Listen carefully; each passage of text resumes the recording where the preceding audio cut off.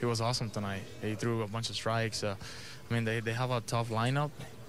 I mean, he, he made pitches when, when he needed to. I mean, uh, uh, they put. I, I, thought they put up uh, great ABs against him, but uh, he was he was awesome tonight, man. It seemed like he was better when they had base runners, and there was a lot of traffic early in the game. You know, like I say, you know, when he, he made pitches when he had to. Uh, I mean, uh, that breaking ball was was good tonight. Um, they, they they were really aggressive on him, and we just try to flip that breaking ball in there um, and finish guys down and away, and we we had success. It seemed like he was was he slowing the breaking ball down even more than usual?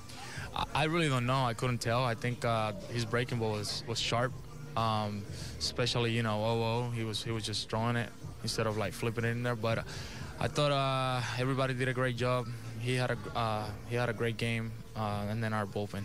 Yeah, what about when Andrew Miller came in the game? It, it almost seemed like they had no chance.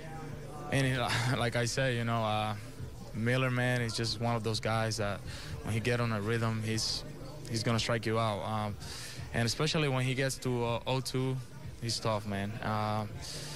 He was he was great. Last question: Was it frustrating at all that all seven of their hits came with two strikes? Like I say, man, uh, it's not frustrating. I mean, they, they, they got a good ball club over there, good hitters. Um, but you got to give credit to Kluber, man. He, he made pitches. Uh, I, I really don't have anything to say. He was awesome tonight.